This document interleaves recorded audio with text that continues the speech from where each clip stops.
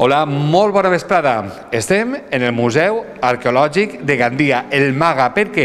Perquè volem conèixer un espai que s'acaba d'obrir fa uns dies. És l'exposició permanent, els treballs i els dies. Viure al món rural en època ibera i romana. Una exposició que anem a recórrer. Per exemple, arranca en este raconet on veiem la primavera i els treballs del camp fantàstica exposició que ja està al seu abast així en l'edifici del Museu Arqueològic de Gandia, el MAGA. Com deia, anem a recórrer tots els espais d'esta exposició permanent, és a dir, que ha vingut per a quedar-se. Però abans fem una introducció amb la regidora d'Arqueologia i Patrimoni, Alicia Izquierdo. Bona vesprada. Bona vesprada. Bueno, deia jo, fantàstica exposició, hem escoltat molt parlar d'ella i ha arribat el moment, suposo que satisfacció absoluta perquè estem parlant eh, de la nostra història. La veritat és que supercontents. Eh, el dia de la inauguració també va vindre moltíssima gent, hi havia molta expectació i molts convidats també de fora, la presidenta de la Mancomunitat, alcaldes també de la comarca, perquè una de les, dels canvis més importants que voldríem destacar en aquest cas és que hem passat de ser Museu Arqueològic de Prehistòria de Gandia a ser Museu Arqueològic d'Història de la comarca de la Safor. Almenys això és la filosofia i la idea que ens va moure a fer aquesta modificació. Per tant, ja veureu en el recorregut que quan aneu mirant les carteles tenim elements de molts jaciments ibers i romans de la comarca de la Safor, no exclusivament de Gandia.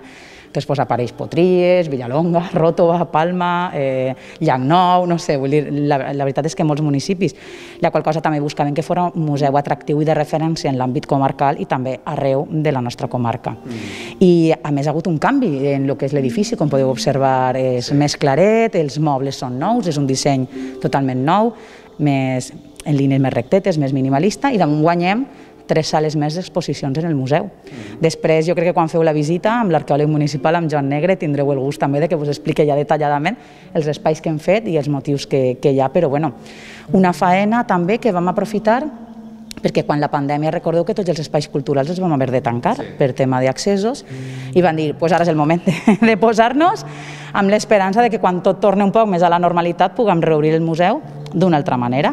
I així ha sigut tot el canvi i hem estat també un any restaurant peces perquè tot el que es veu en l'exposició, que això també ho volíem remarcar, és propietat de l'Ajuntament de Gandia, està en el fons arqueològic nostre municipal, que té molta quantitat d'elements i de molt alt valor.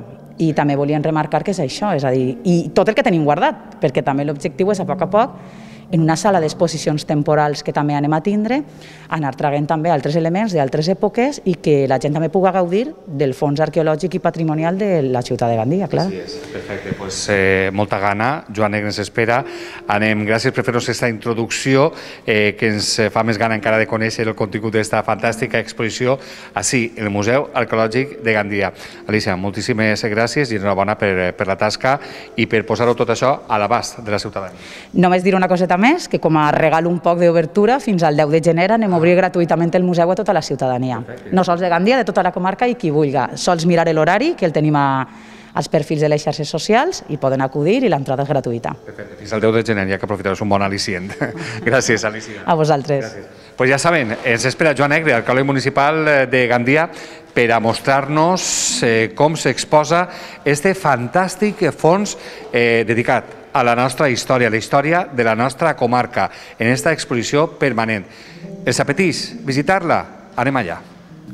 La vida al ritme de la natura i el camp. Anem a comprovar-ho i ho fem amb Joan Negre, alcalde municipal i director del MAGA. Joan, bona vesprada. Bona vesprada, Dani. Bueno, eh, tenim molta gana de conèixer eh, el contingut d'esta exposició. Són quatre sales. Anem a veure si ràpidament podem eh, mostrar a les persones que ens acompanyen en este temps de magazine, mostrar el màxim, eh, les màximes peces possibles perquè és un fons fantàstic i que hi havia molta gana, no? Molt, molt d'element que mostrar. Sí, sí, la veritat és que teníem moltíssimes peces guardades en el magatzem que calia treure-les a la llum mm. i aquesta exposició, esta primera sala, el que intentem és fer un repàs un poc a la vida econòmica de, de la gent. Tota la sala és un repàs per les quatre estacions de l'any, la primavera, l'estiu, la tardor, l'hivern, mirant quines eren les principals activitats que marcaven el dia a dia de tota aquesta gent. Així tenim la, la primavera, no? Exacte, co comencem en la primavera, que és el moment de preparar el camp, de treballar el camp, preparar eh, el que serà la, la,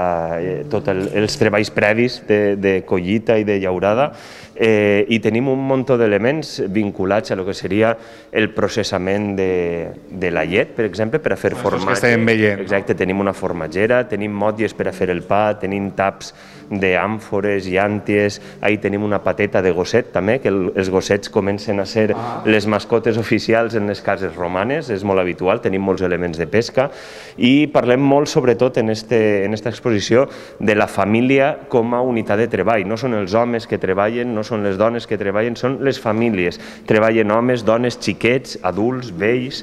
Tenim, per exemple, per al Ah, treball... sí, verdad, ja tenim allò de l'empresa familiar. Ja Claro, ex exacte, en el, en el món iberi romà, la família, sobretot en l'àmbit rural com el nostre, la família és la unitat més important. Així tenim, per exemple, un conjunt de ferramentes del camp impressionant amb, amb tots els elements. Tenim arades, tenim aixades, tenim eh, alcotanes, que són aquestes eh, espècie de destral i pal al mateix temps, esquellots de les ovelles i les vaques, i en seguida arribem al món de l'estiu.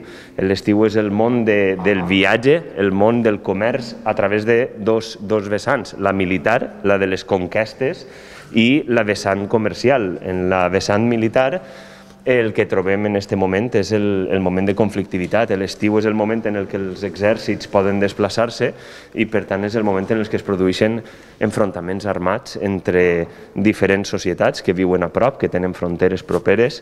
En el cas del món iber, com nosaltres estem un poc en la frontera entre els contestants i els edetans, doncs, tenim també aquest món de conflicte que cada estiu es repeteix per reafirmar el, el control de cada un dels territoris però també l'estiu és el moment de comerciar perquè el mar sí. està tranquil, podem agarrar el vaixell, podem viatjar i aleshores ens venim al món del comerç i, per exemple, si tenim una de les joies de, que tenim exposades, Ah, sí? sí, que és este lingot de plom de 75 quilos provinent del, del vaixell enfonsat romà Bou Ferrer de la Vila Joiosa, que ens han cedit i que és un lingot de plom que es va fer en Sierra Morena per a eh, fabricar les canonades de la domus de, de Neró, de l'emperador Neró, i per això porta el seu escut eh, integrat en el plom.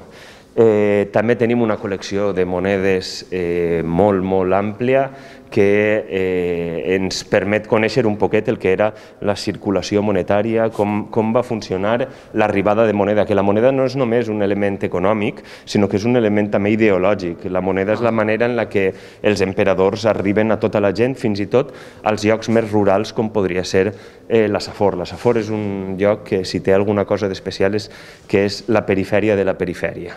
En aquest moment és la ruralia de la ciutat de Dènia, de la ciutat de València, és un lloc que no té cap ciutat important, sinó que és un món de granges, de viles, de, de llogarets eh, en els quals eh, agricultors i camperols viuen eh, d'una manera molt diferent que com viuen en la ciutat. També l'extraràdio, en una altra manera de, de viure. Exacte, també del món del comerç tenim així tres espectaculars àmfores que ens han arribat, una que ve d'Eivissa, de la tradició púnica, una altra que ve de la zona de Nàpols i de la Campània, i una altra que ve de la zona de Cádiz, que venia plena de eh, garum, que és una salsa de peix eh, molt tradicional del món romà, i que esta també ve de, del Bou Ferrer, del derelicte, del vaixell enfonsat que es va trobar en la Vila Joiosa i que ens han cedit esta àmfora per a que puguem mostrar a tota la gent com, com eren aquestes àmfores de Cádiz que anaven en direcció cap a Roma. Ah. Bueno, veiem que s'ha seguit un treball eh, profund i professional, tot un discurs històric s'ha seguit a l'hora d'instal·lar estos, estos espais. Eh, hem passat eh, per algunes èpoques de l'any i arribem a la tardor. Sí, clar, la tardor és l'època per excel·lència de la verema, de la recollida dels olives i del processament, tant del raïm com de l'oliva. I així en la Safor tenim, per exemple, un forn de producció de ceràmica, d'àmfores, per a contindre este vi i este oli, que és el forn de Pardines, en Beniarjó, que és un forn espectacular, amb quatre forns sencers, en el qual es produïen aquestes ceràmiques que estem veient i es produïa tot un sistema d'emmagatzematge per a poder eh, conservar este oli i este vi i transportar-lo per a vendre'l. Era el nucli econòmic un poquet d'esta comarca. Eh, a continuació, justament, passarem també a la resta de ceràmiques que produïen aquest tipus de forns, que són, Si les tenim. claro, són les ceràmiques que coneixem com a ceràmiques comunes o ceràmiques eh, d'ús habitual, que és eh, les ceràmiques que gastava cada família en sa casa, en botelles, olles, gerres, eh, tot tipus de- d'elements que eren necessaris per, a, per al dia a dia d'una família en el camp, en, en la ruralia. I també així a continuació tenim una sèrie d'elements que estan vinculats més a les tasques de construcció, perquè també entre la tardor i l'hivern era el moment en el que es feien totes les reparacions de, de les cases, que és un, una part molt important. Bueno, Molt curiós, elements com estos eh, claus de l'època. Eh, és, és molt atractiva esta, esta exposició. L'hivern, Claro, a prop de la llar. L'hivern arriba el fred, tota la família es recull eh, al voltant del foc, al voltant de la llar, i és el moment de eh, les artesanies, el moment de, de preparar la fabricació de tèxtils, de, de cuidar el que és el, el, la part més personal de, del dia a dia familiar. Tenim, per exemple, un kit d'elements quirúrgics, també, eh, que podeu veure així. Són estos d'ací, no? El número. són un, elements que estan eh, identificats de forma habitual com a elements quirúrgics. Per exemple, els claus són claus per eliminar catarates. En esos, Ahà. en esos claus la, els, eh, els metges d'època eh, preparaven un xicotet ungüent en este platet i després en esos claus eh, treien les catarates dels ulls. Fantàstic. Per a que vegeu els elements eh, simbòlics. I així tenim una xicoteta representació del que seria l'interior d'una casa, una casa tant en època ibera com romana com tardoantiga, una casa rural, una granja, una xicoteta explotació familiar, en la qual pues, els elements van repetint-se, un teler en el qual preparaven eh, els teixits tant per a comerciar com per al propi ús de la família, un molí per a moldre, moldre el gra i els diferents elements que composaven un poc l'interior. I ja esta sala s'acaba amb una sèrie de vitrines centrals que podrien dir, clar, que podrien dir que són un poc com els xicotets tresors que hem, que hem destacat per damunt de la resta. Així, per exemple, tenim una sèrie d'elements de marbre, eh, mosaics, que venen sobretot de la vila de Rafalcaït i també de la vila del Rajolar, que són les dues grans viles de la Safor. Eh, la vila de Rafalcaït, sabem, està a prop de la depuradora, la del Rajolar està a prop de Dulcesol, avui en dia, i a este costat, per exemple, tenim una sèrie de ceràmiques iber, iberes pintades, eh, que és, és la, la ceràmica més tradicional, més habitual del món iber, també una col·lecció molt interessant d'aquest tipus de peces. I així està possiblement el que seria el, el gran tresor, podríem dir, d'esta primera sala, que és el conjunt de peces de bronze que es va eh, localitzar en, en la vila de Rafalcaït. La vila de Rafalcaït s'ha excavat en un 10% eh, i encara, i encara, Un 10%, i encara dona massa. I, I només en aquest 10% que es va excavar mentre es feien les obres de la nova via d'accés al port, es va trobar este tresor de bronzes en el qual podem veure pues, balsamaris, eh, llanternes, llànties, eh, de, de tot tipus d'elements de luxe. I així una xicoteta eh, col·lecció de ceràmica d'ús habitual, d'ús eh, domèstic, però també en molt bones condicions, que és, eh, és difícil de vegades trobar-les en tan bones condicions, que també proven la seva majoria, eh, com sempre, de, de Rafalcaït i Rajolar, que són les dos grans viles, junt amb, també amb, amb la Sort, en Ròtova. Veia que diferents punts eh, d'origen d'estos eh, elements que formen part de la nostra història. Es queden molts espais. Anem a veure el que ens dona temps eh, per a visitar. Així és que, si us apeteix, seguim visitant esta exposició permanent del Maga. Anem, Joan. Creences, territori i paisatge. Joan, estem en esta sala que aglutina aquests tres eh, elements, eh, tres aspectes. El món de les, de les creences, que també suposa que més que atractiu no? en el món. Sí, la veritat és que el món iber, el món romà, és un món en el qual les creences juguen un paper fonamental en el seu dia a dia. No és simplement eh, una sèrie de conviccions religioses, sinó que és eh, la seva veritat, la seva filosofia de vida en molts casos, la qual regeix pràcticament eh, tot el, totes les activitats que fan. Sí, sobretot en el, en el camp, eh, perquè veiem així el temps sí. del camp i el calendari ritual. Clar, el, este calendari que hem parlat abans de, de les estacions de l'any és un calendari que marca el dia a dia, la vida de tots els camperols, de tots els llauradors, les famílies que viuen en, en el camp durant tota la història, eh, pràcticament fins a la revolució industrial. És un, un calendari molt important. I en el món iberi romà també ho era eh, inclús més, perquè el, el pas dels dies era el que marcava un poquet eh, aquestes activitats que podien fer. Així, per exemple, vegem eh, el tresoret del Tossal del Morquí. El Tossal del Morquí és un jaciment que està entre Llocnou i Terrateig. Uh -huh. És un jaciment molt important en el qual s'ha trobat una, una cova sepulcral, una cova santuari i un temple ibèric en el qual podem veure ahir un tresor de peces de plata i d'or que es va depositar, exacte, que es va depositar en el temple del Morquí com a ofrena als déus ibers. Mm -hmm. Eh, també un altre dels elements molt importants que tenim a la comarca és la Serra Falconera. La Serra sí. Falconera és un punt ritual importantíssim, ple de coves i pràcticament totes les coves mostren casos de eh, eh, alguns tipus de rituals d'entrega d'alguns vasos calceformes, d'alguns platets, algunes copetes, eh, unes que veiem ara mateixa, claro, no? unes pintes de fusta també que, que es corresponen amb el ritual femení de, del pas d'edat, del pas de la infància a l'edat adulta, les dones es tallaven les trenes i les depositaven com a ofrena. Aleshores, aquest depòsit ens queden les anelles que anaven en les seues trenes i les pintes de fusta amb les que acompanyaven aquestes trenes. Mm. Després ja en el món romà passem a un món que també continua utilitzant les coves de manera molt, molt especial. Eh, en aquest cas la cova de les Meravelles és l'exemple més, més eh, important en el qual trobem pues, tots aquests fragments de llànties eh, profusament decorades amb motius vegetals, mitològics, eh, animals, és, és, són increïbles.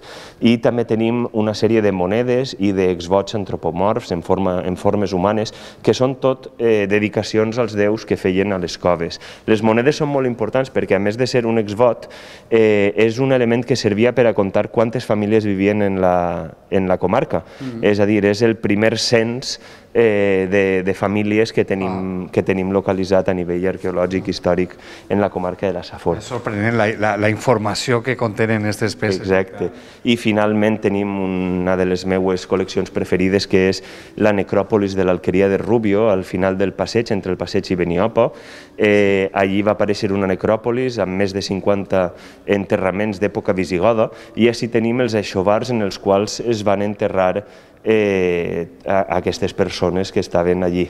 Eh, són aixovars que tenen peces d'or, d'ambre, de, de vidre, de pasta vidra, eh, vidrada, eh, eh, joies de plata, de bronze, tenim de tot pràcticament i és, és un xicotet tresor perquè no n'hi ha tantes necròpolis amb aixovars tan ben conservats ah. eh, d'època visigoda. L'època visigoda és una de les grans desconegudes. I ho tenim així. Acabem de deixar enrere creences, rituals i entrem a territori i paisatge. No? Exacte. Passem a, a, un, a una nova temàtica, el, el que seria un poc conèixer com a poc a poc va anar variant el poblament, és a dir, com a poc a poc van anar canviant els llogarets en els quals vivien aquestes famílies, eh, el, les granges, les viles, i un poquet ho fem a través de conèixer com era eh, un jaciment, el jaciment del Rajolar, perquè en aquest jaciment específicament tenim una fase ibera, una fase romana i una fase tardoantiga. Aleshores podem conèixer com era la granja ibera que estava en eh, el jaciment del Rajolar i com a poc a poc va anar canviant. Així vegem una representació de com es veuria la granja del Rajolar al fons, eh, eh, si eh, les finestres del museu pogueren veure a través del temps. Aleshores podem veure a través del temps com es veuria l'altre costat del riu i la granja ibera del Rajolar. I a continuació vegem justament la vila romana del Rajolar, el gran jaciment eh, romà del Rajolar, amb la seva zona residencial, més eh, per a la família principal d'aquest assentament i les, totes les zones de producció. N'hi ha una almàcera per a la producció d'oli, n'hi ha una ferreria per a treballar els, tot el que seria les ferramentes del camp, tenint una zona d'estabulació per als animals, és una vila molt completa i que ens ha portat, i, claro, i que ens ha portat moltíssims materials. La majoria de, de materials romans provenen de la vila del Rajolar i de la vila del Rafal Caït, ah. que són dos dels jaciments més importants de, de la comarca. També... Sí, continuem veient no? per les Exacte. finestres d'aquesta exposició. Tenim aquestes finestres a la història que, que hem volgut crear per a veure com es veuria eh, a l'altre costat del riu, en aquest cas en època de la vila romana. Vegem que el paisatge canvia, és plena d'oliveres, és plena de vinyes, eh, els camps estan més treballats, més preparats i eh, continua mantenint-se encara igualment este paisatge de, de muntanyes, de boscos, de xicotetes garrigues. Ah, I així avancem en la història, no? Exacte, avancem en la història cap al món tardоantic, cap al món ja en el qual els romans han desaparegut, la societat eh, de la península ibèrica, eh, sobretot el, el món visigot, eh, s'instal·la també en estos antics jaciments romans i el que fan és aprofitar-los, eh, subdividint-los, creant diverses cases dins d'una única casa, eh, creant eh, corrals on abans n'hi havia llocs de producció, amortitzant altres espais i creant xicotets corrals per a eh, eh, que diverses famílies puguen treballar un únic espai. Així la vegem de forma més eh, detallada i a continuació la vegem també finalment a través de la finestra del temps de com veuríem exactament eixa vila, com els camps comencen a estar eh, de nou presos per la vegetació un poc més eh, autòctona i salvatge i com a poc a poc van desapareixent els camps d'oliveres i de vinyes que són bàsicament el que, el que marca la nostra agricultura durant tota la història pràcticament. Eh, acabem de comprovar que l'espera valgut la pena, molt de treball previ fins a arribar a aquest moment de fer realitat aquesta fantàstica exposició. N'hi ha dues sales més, eh, però ho deixem un poc per a que la gent eh, vinga així i presencialment disfrute, no?